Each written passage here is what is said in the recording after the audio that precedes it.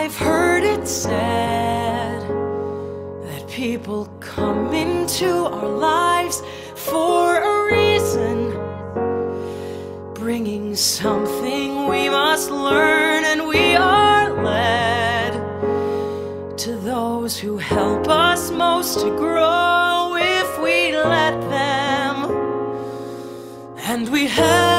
them in return.